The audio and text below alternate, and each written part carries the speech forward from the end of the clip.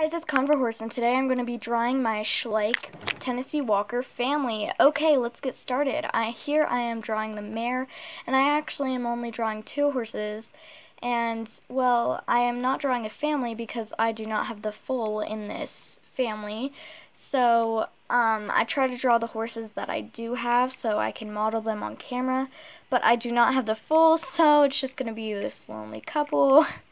So now I'm just going to continue with the outline and those little waves in the hair, you'll see me later erase those because the mane is a lighter color than the body, so you'll see me erase those.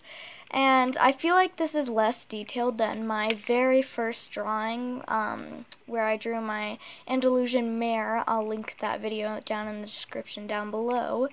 And um, I'm also drawing the gelding, I believe, after this. Yep.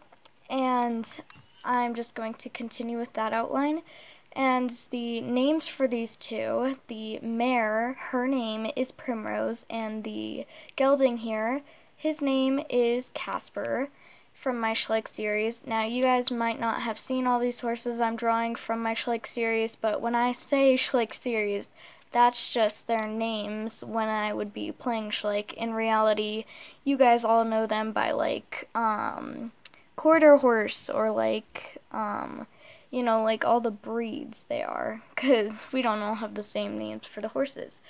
Okay, and I will be coloring everyone. Yep, and I'm just going to start with Primrose or the Tennessee Walker Mare, and I'm going in with like this very light tan but actually, I feel like lately my colored pencils have been like really streaky.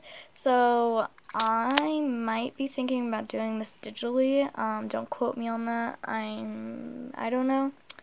So I'm just going to continue and the muzzle was actually a dark brown and I tried to make like the legs more of a light gradient to a darker tan once it hits like the body so the legs didn't really come out all nice and blendy, but that's okay.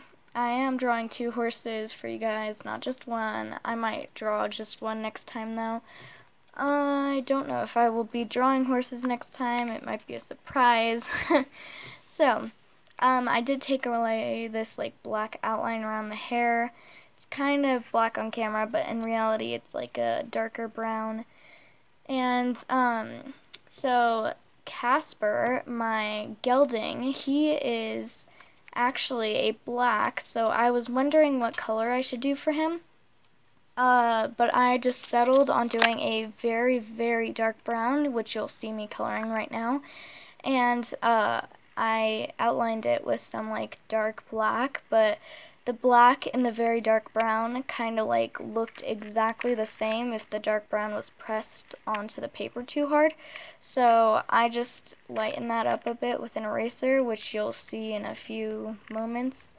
And he has one cute little sock, which in my last video, the horses all had little socks on them.